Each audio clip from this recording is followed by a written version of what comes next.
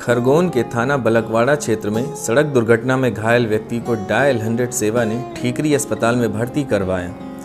जिला खरगोन के थाना बलकवाड़ा क्षेत्र अंतर्गत महितपुर रोड पर नहर के पास मोटरसाइकिल के दुर्घटनाग्रस्त हो जाने से एक व्यक्ति गंभीर रूप से घायल हो गया है। पुलिस सहायता की आवश्यकता है। घटना की सूचना राज्य स्तरीय police control room dial hundred Bhopal में दिनांक 10 मार्च 2023 को प्राप्त हुई। सूचना प्राप्ति पर तत्काल खरगोन ज़िले के बलकवाड़ा थाना क्षेत्र में तैनात डायल हंड्रेड वाहन को सहायता हेतु रवाना किया गया।